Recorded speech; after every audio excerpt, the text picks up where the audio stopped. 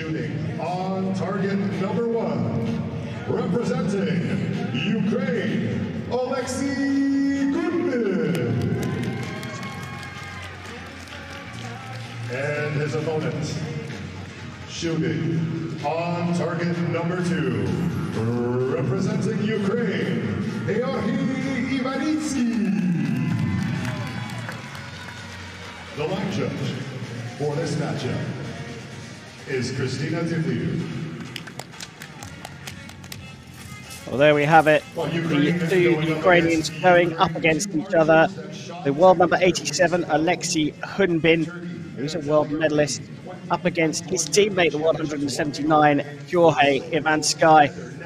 So two Ukrainians duking out. Now, we've been told that Ukraine have decided that they will not use this event as the decider as to who will take the one Olympic spot. But hey, Nikki, a win here is all important, isn't it? Absolutely. You want to show your federation you're the best archer and you should be sent to the Olympic Games.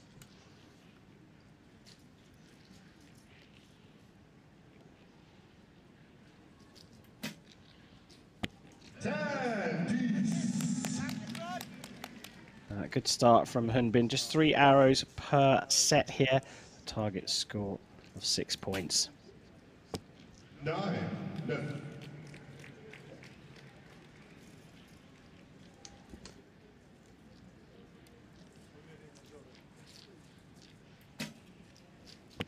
Nine. No.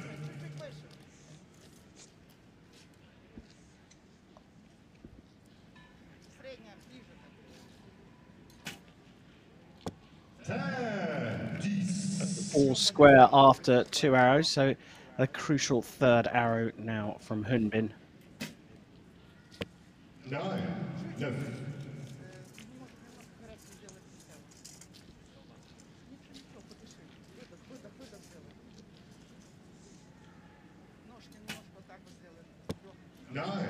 No. So they've matched each other there. The idea in the set system for recurve archers is to get the highest score over the three arrows. Here it's drawn, so it'll be one point apiece after the first set. Nikki, are you seeing any difference here, given the fact that it's not raining today and the sun is shining? Yeah, the sun is out, so some sunglasses on, which help with some of the glare. You know, it's important for their string picture. So with the string be- with the sun beating down, the string might look a little bit larger than usual, so that might affect what they see of the string picture. Um, but you know, in this match, it shouldn't change during that time. So once they've got the right picture, they know what to look for. There should be no changes throughout the match. Both the archers have coach behind them.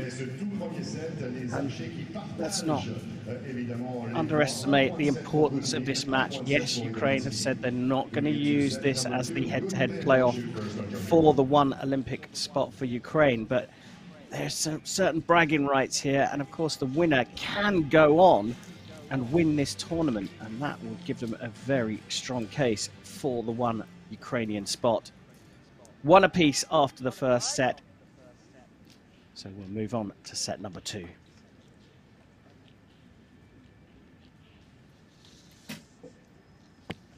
Десять справа.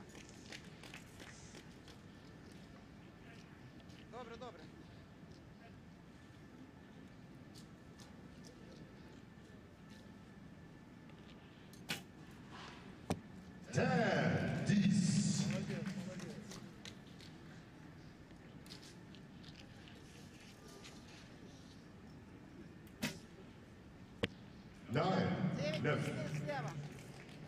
Both these archers taking a bit longer, aren't they, at full draw, longer holds.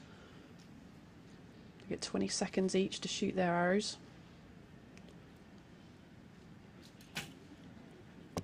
Nine. no.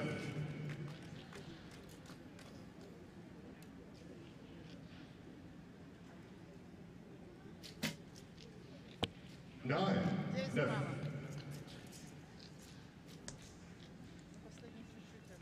Well, another 28 from Hunbin.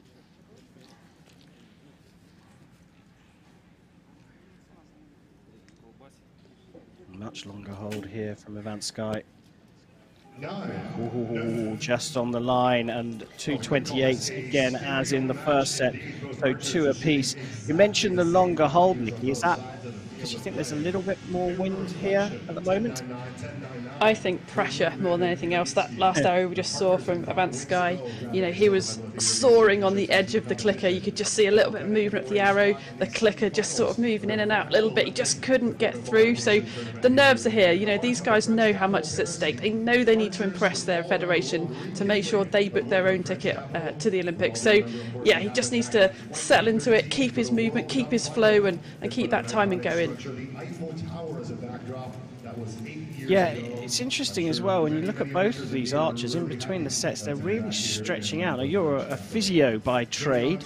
Um, is that a bit of a surprise given the fact that they have been shooting for a few days here?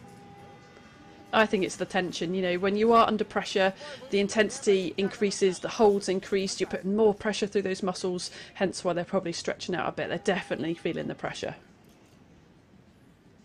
Two set points apiece. We go into the third.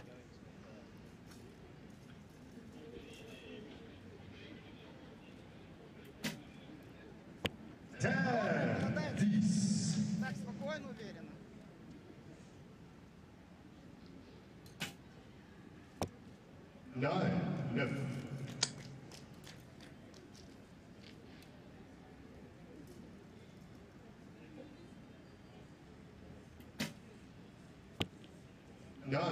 Just outside the 10 ring there.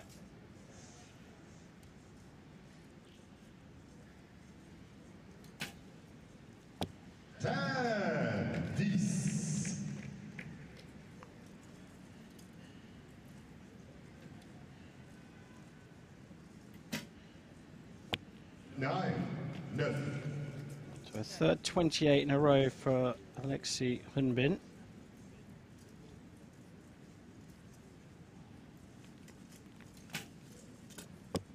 Ten. Dix. And that's the first 29 we've got, and a clear set point win for Ivanytskyy, who goes 4 2 up. And has the chance to do this in four sets. Nikki, without the rain, already we can see the scores and the consistency of hitting the centre of the target is much higher. It really is. You know, that 10 is the size of a CD, so it's a really high level, over 70 metres to be hitting it, but that's the standard these guys are at. And, you know, Ivanytskyy, again, we saw a little bit longer hold on that last arrow, didn't we? A little bit longer than his others compared to those. Um, but I feel for Hunbin there, you know, who's only just outside the 10 on his second arrow, so tight, tight margins in this. Yeah, it certainly is, but the quality is incredibly high. Who would want to be a Ukrainian selector for the Olympic Games when these two, uh, well, there's just one point between them in terms of their total scores. But Ivanytskyy with the advantage, 4 2 up, it will be Alexei Hunbin to shoot first in set number four.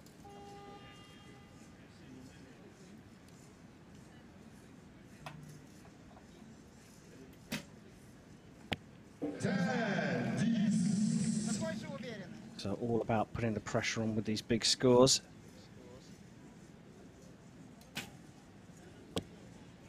Ten.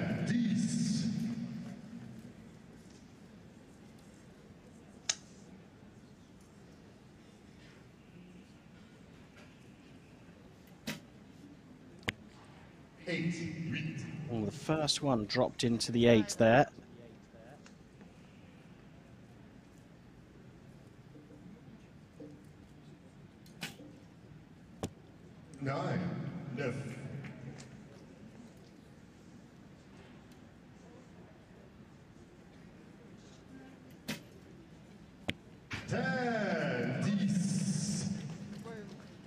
28 again, that's four in a row, but a chance here to take it with a 10.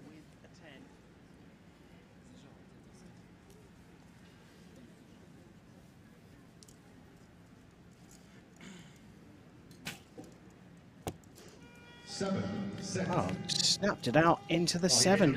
Is that just about pressure then, Nikki? Number two this time. I think so. A longer hold again, bit more movement. Just watch that clicker, you know, the arrow underneath the clicker, bit of movement there, and yeah, I just think, you know, that shot might could could mean that he would take that Olympic ticket. So the pressure is absolutely immense. Again, stretching out. They're just feeling tightness and tension in this match. So much at stake. Matter of moments indeed, regardless of the outcome, Goodman You may well four set points. Know who's going to the Olympic Games or who's got the quota places, which countries have attained them. But this is perhaps the most critical of the four quarterfinals, with two Ukrainians going up against each other and only one spot available. We're starting to see some errors creeping in. Four apiece after four sets, one more regulation set to go. It's going to go to a shoot off, isn't it, Nikki? Love a shoot off. Let's have two more 28s and uh, have one arrow closer to the centre. That would be that'd be amazing.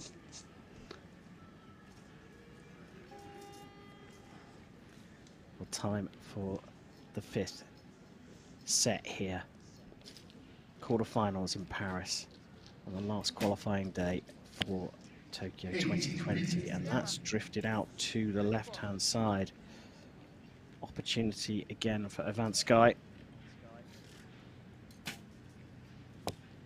Nine, neuf.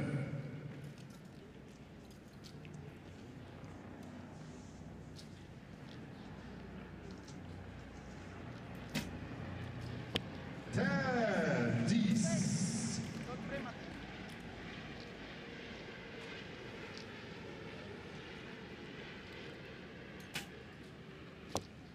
Eight, huit. So a chance Okay. here to put this out of reach. And that is the 10 he needed, a 28 it is for Hunbin. Ivanytskyy can only get a 27.